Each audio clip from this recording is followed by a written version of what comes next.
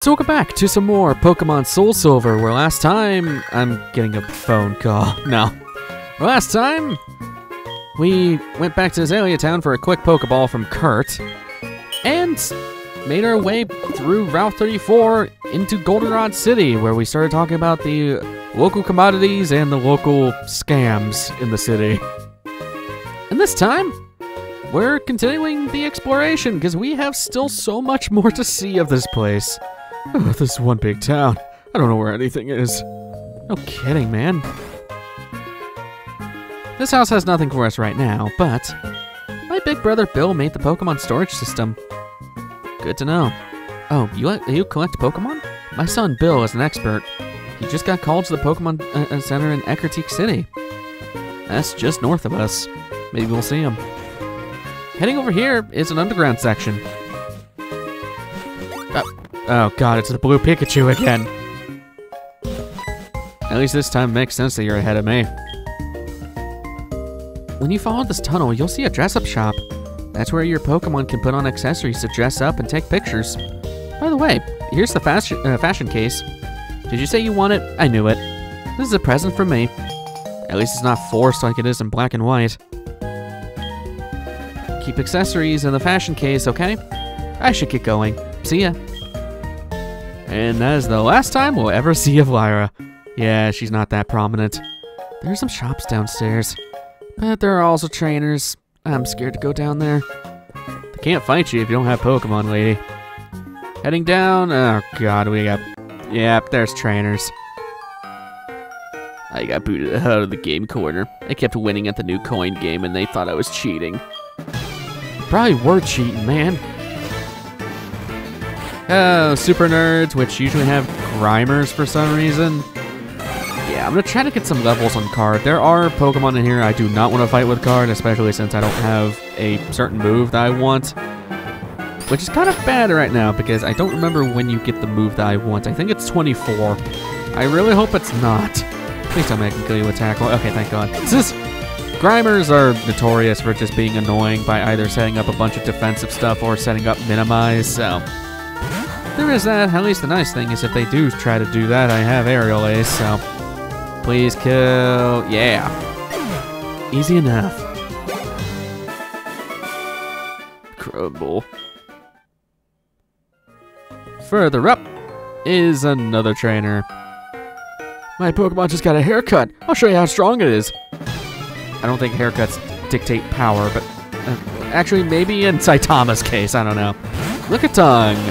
We won't be able to get this Pokemon for a long time. And this thing's gonna have a crap ton of XP to come from it, so I will gladly take you down. Oh, you're just gonna confuse me. You suck. Okay. Usually I'm very unlucky. Maybe I can get lucky. Thank you. I, I love how uh, hypocritical I, I sound sometimes when I say I'm very unlucky. Usually I am a very unlucky person. I have, oh, there it is, Brick Break. That's why I wanted that level. Yes, okay. Brick Break's gonna save us in a, in a few minutes here. Definitely getting rid of Tackle, because Tackle sucks. But yeah, sometimes I sound hypocritical because I'll get very lucky in the LPs, but seriously, that is, I guess it's the inverse of the LP curse. I don't know. This guy is interesting. Welcome. I run the Pokemon Salon. I'm the older and the better of the two haircut brothers. I can make your Pokemon beautiful for just 500 bucks. Grooming gives a better look. Your Pokemon will feel uh, become friendlier and more beautiful. Would you like me to do that? This guy is interesting. Every day but Monday will be one of the haircut brothers who will set, er, well, up a Pokemon's happiness stat. Sunday, Wednesday, and Friday is the younger, while Tuesday, Thursday, and Saturday is the older. The older, I think, also charges more for the same thing, yeah. So this is very helpful if you want to use a Togepi or a Zubat for their happiness evolutions. However, on the weekend, an old woman will sell inexpe inexpensive herbal medicine. It's there, it's... All it does is it heals your Pokemon at the cost of lowering their happiness. It's not great.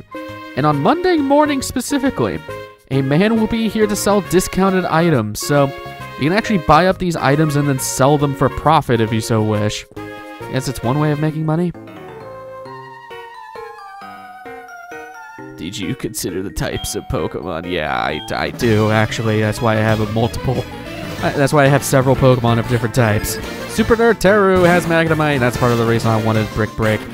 Magnemite's not a Pokemon we'll see till a little bit later, but just know that they're all weak to fighting because they're part steel. And can I just say this right now? And this is always a nitpicky thing with the Magnemite line. It makes sense that Koffing has the, the ability of levitate because, you know, it's floating. It makes a little less sense with Haunter because it's just a ghost.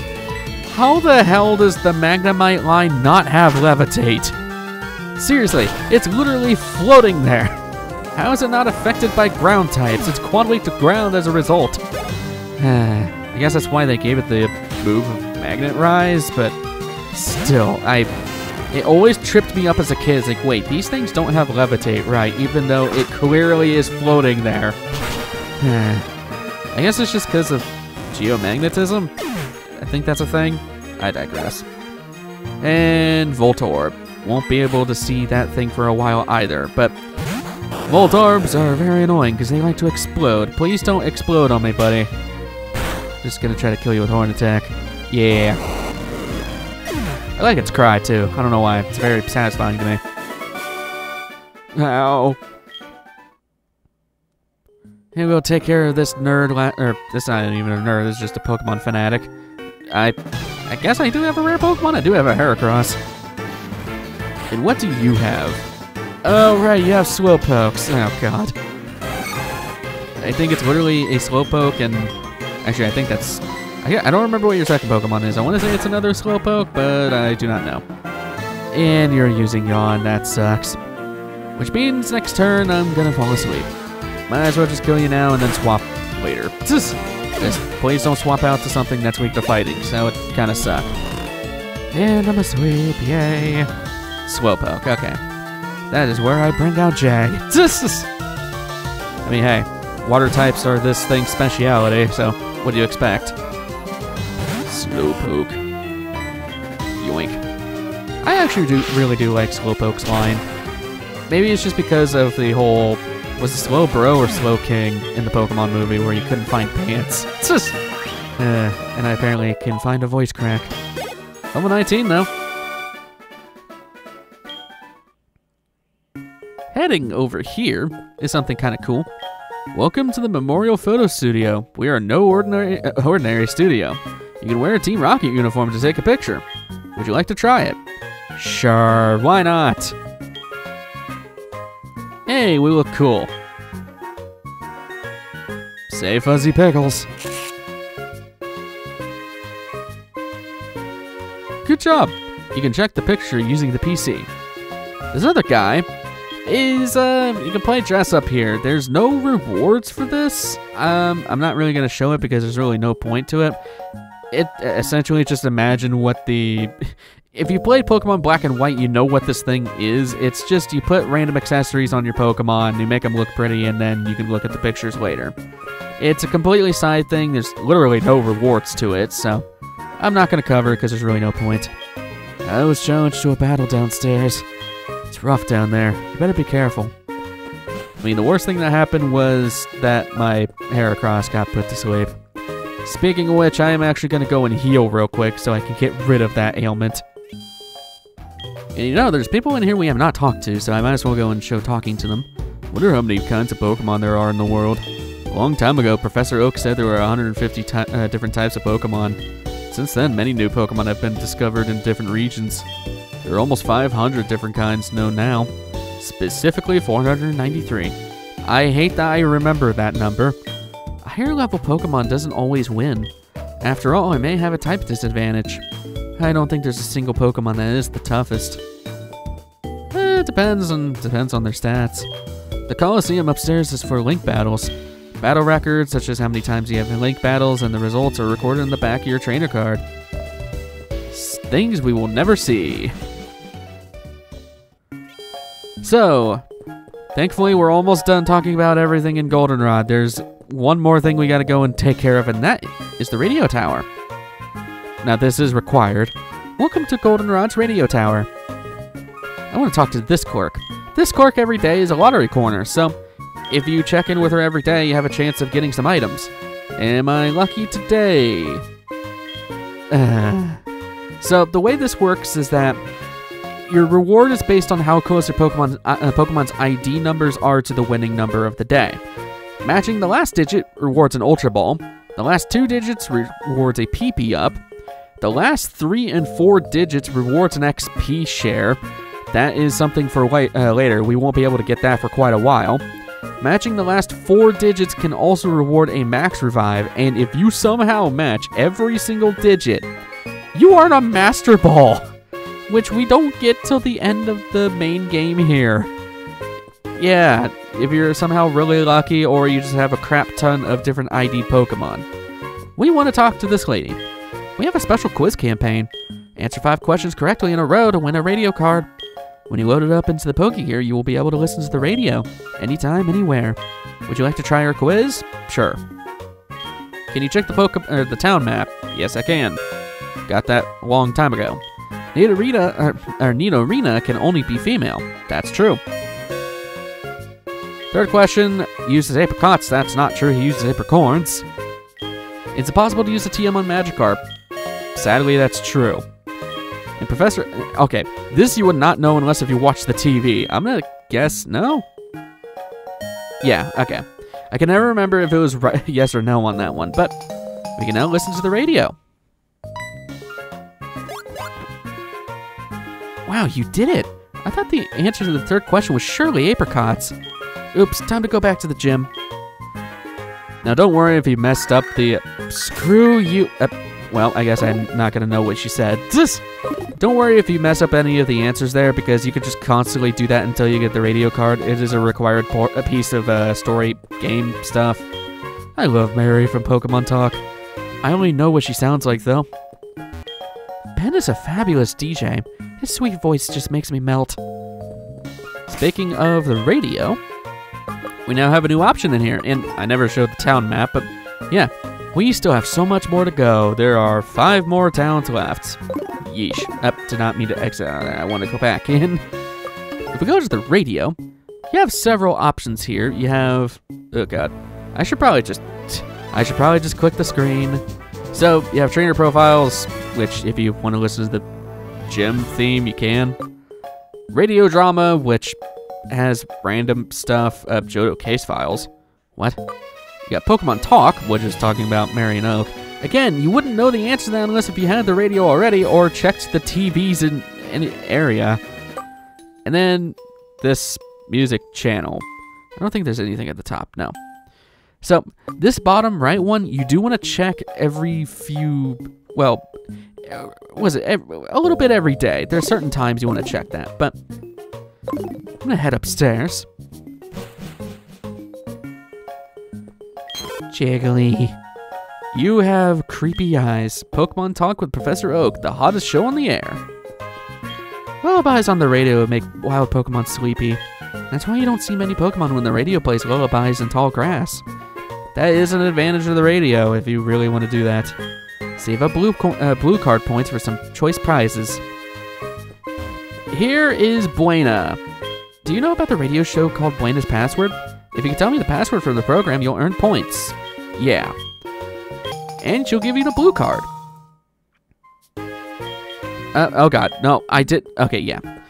So every day, she, uh, Buena here will actually go on the radio.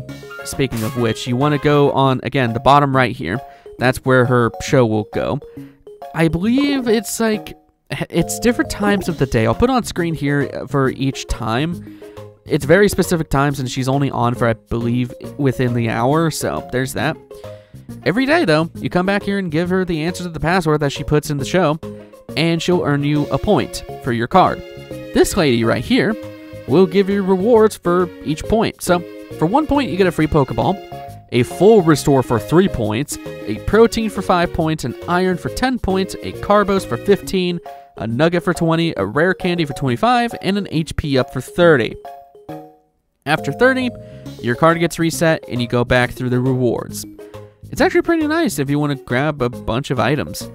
Along with that, there is another reward for maxing out the blue card, but we won't see that for later.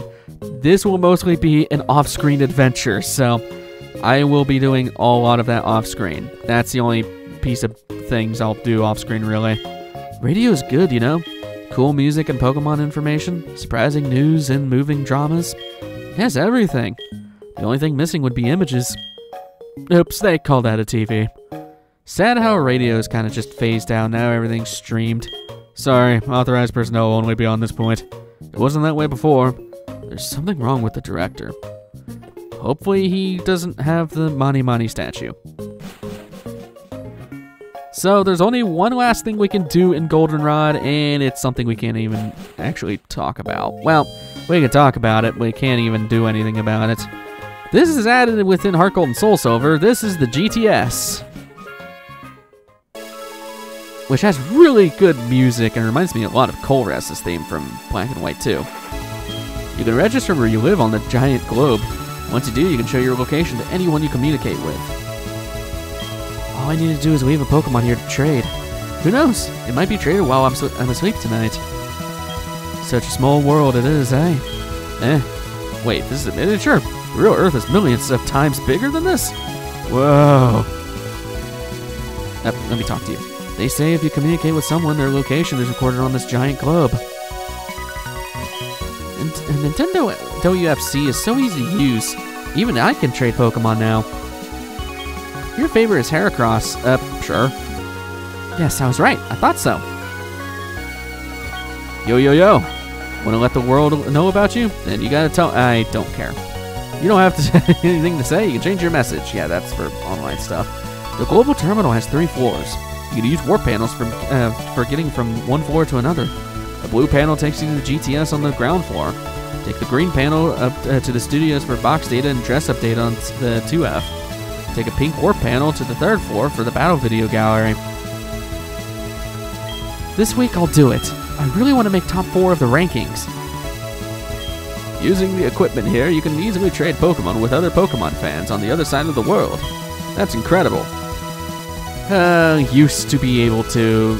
Since then, the wireless network system thing for DS games entirely are just gone. Only infrared from here on out. Unless if you connect to uh, specific servers are maintained now, which is actually really cool. This, it is, it's the only way that the uh, GTS is still somewhat usable. However, we have no use of it. I just want to show it off, and it's really good music, because again, it's very much black and white. But anyways, now that we're done with that, we have talked to, I think, everybody here. Um, up here is the name rater, so I was wait, I was waiting for the Slugma talk for that. You can go in that tent and, uh, well, do that. Sometimes a healthy Pokemon it may be unable to use its moves. If that happens, heal it at a Pokemon Center or use an item. No duh. Once I was battling, my Pokemon couldn't use any moves. The power points or PP of, of its moves were all gone. Yeah, it's talking about struggle. We'll never see that, trust me. Struggle is very rare. Apparently there's an odd tree on Route 36. They say it dances when you water it. Oh, of course not. This is a flower shop, so we have to we have watering cans and things like that. But I cannot let you have one. It's too dangerous. Hmm. Well, maybe if you manage to defeat the Goldenrod gym later, it might be okay. I take your challenge. To the Pokemon gym. This gym is pretty easy. Yo, champ in the making. This gym is home to the normal type Pokemon trainers. I recommend you use fighting type Pokemon. So here's the thing, if you're not using a fighting type, you're gonna have hell on earth for this gym. This gym is very notorious for a reason. Now, the trainers here are really not that bad. They literally just have Sentrets, Jigglypuffs, uh, I believe one even has a Clefairy, something like that. If you have a fighting type, whether that be a Machop that you got from the trade or Heracross, you are going to steamroll through this gym. It's part of the reason I wanted Heracross on my team to begin with. So, along with that, the gym leader here, she will straight up cheese you. I'm not kidding. We'll see that in a bit. But, uh, yeah, just trust me on that. She is a monster. Almost to level 20. Come on. More Sentrets. The only bad thing about this gym is that all these normal type Pokemon give you so crappy, uh, was it EXP? They barely give you anything. one more brick break. Down for the count. I didn't really talk about this when we first got Brick Break either, but Brick Break has another property of being able to shatter, well, the screen moves, light screen and reflect. So, if Pokemon uses that against you, you have a pretty easy way of taking care of it. And yes, this Pokemon gym is in the shape of a Clefairy. It's pretty, yeah, I, I like it. I like that attention to detail, and I want to go over here. There's not that many trainers, that's why I figured we might as well take care of the trainers. So, heading through here.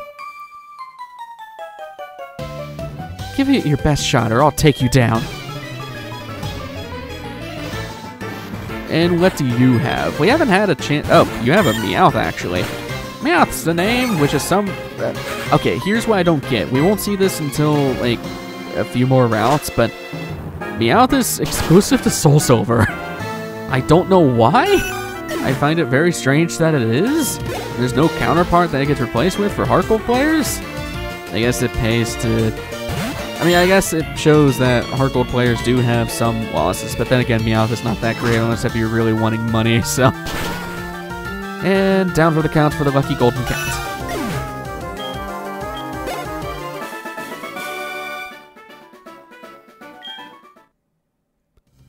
Like Meowth though. He's cool.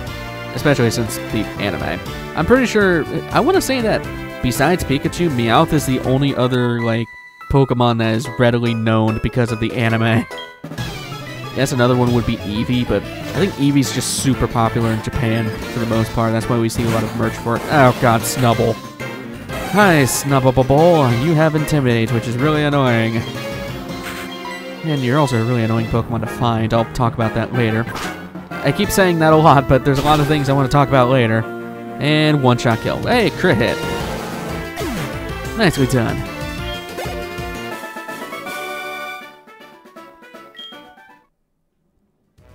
One more trainer. You're really gonna see me from there, so I have to go all the way around. You suck. And what do you have? You have three Pokemon. A Jiggly. There's the Jigglypuff. I knew there was a Jigglypuff in here. Can't even get this Pokemon yet. Brick, break it to pieces. If you're not using a fighting type, though, uh, I can only say good luck. Now, here's the thing, too. If you have a Haunter or something like that, you literally have no worries from this gym. Normal types can't hit uh, ghost types, and Haunter can learn more than just ghost type moves at this point, so you can easily ch cheese the gym like that if you so wish. I just opted to go with a fighting type, and well, since Machop is a trade evolution, I don't like using trade evolutions for, uh, well, for LPs, I should say, unless if it's very easy to trade. I'm just gonna, yeah, it's just it's a big reason why I chose Heracross, especially since Heracross is just that overpowered. I love using this thing. All the Jigglypuffs are down. And level 21. You're the highest level member now. Oh, no, no, no. Cleared out the gym. Pretty easy on that front. we'll take care of the gym leader at a later date because uh, she's tough. I'm not going to grind or anything like that, but I definitely will and restore my HP and PP and all that, so we're going to do that real quick. But that's going to be a thing for net. My mother is calling me. Uh, how are you? I found a use. Okay, I guess I can show this then. I was to end things off right here, but I want to see what she got us, so. I digress. And all Actually, I have a bike for a reason. Yoink. What did our mother give us? There, okay, that replaces the repel I bought earlier. Cool. And no other packages. Anyways, that's where I'm going to end things off for this one, so next time on Pokemon Soul Silver, we'll be taking down Whitney of the normal type gym and heading north into Route 35.